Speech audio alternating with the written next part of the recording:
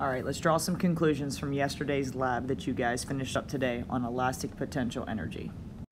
So as we take a look, we know elastic potential energy is based off the stretch or the compression of something that can be like a spring, a rubber band, a slingshot, a trampoline, anything that can stretch and compress. What we notice is when there is zero displacement, there is no potential energy. Once we displace it to 1, it is gaining potential energy. So as the spring gets stretched,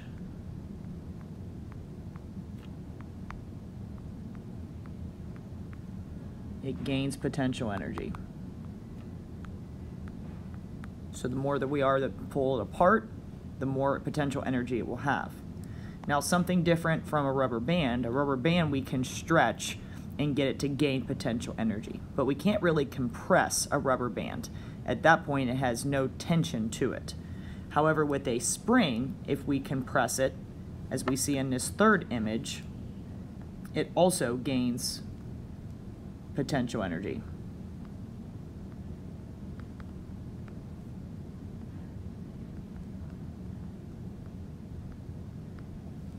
So therefore, the more that we stretch or compress an elastic object, the more elastic potential energy the object will have. Now, there is one other factor, kind of how in gravitational potential energy, we have both mass, mass and height as a factor. We also have here the spring constant. And as we notice, as we make the spring constant thicker, the amount of gravitational, or excuse me, elastic potential energy also increases.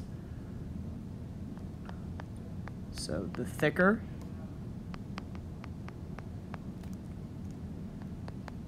the spring constant,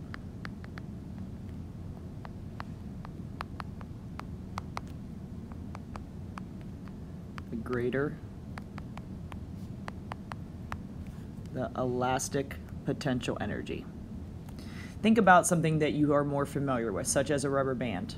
If you have a really, really thin rubber band, the exact same size as one that's a little bit thicker, think about which one will shoot further and which one actually contains more energy. The thick rubber band will always have more energy than the thinner rubber band. So the two factors that affect elastic potential energy is how much they are stretched or compressed and the thickness of the object. Now let's for our follow-up question. So here we're looking at two items that are electrically charged. If we take a look at these first two, we notice that we have positive charges, which remember when we have positive charges, that will cause these two objects to repel. As they repel one another, that's going to cause this spring to compress. When we have two opposing charges, Recall that that causes those to attract. As those attract, that's going to pull the spring out and it's going to stretch the spring. Anytime that the spring stretches or compresses, it is gaining elastic potential energy. So as we look at our answer choices, how does the elastic potential energy change to each of the springs? It will increase in both.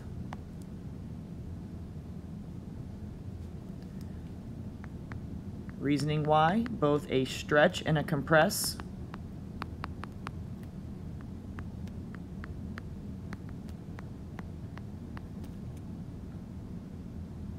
increases the amount of elastic potential energy.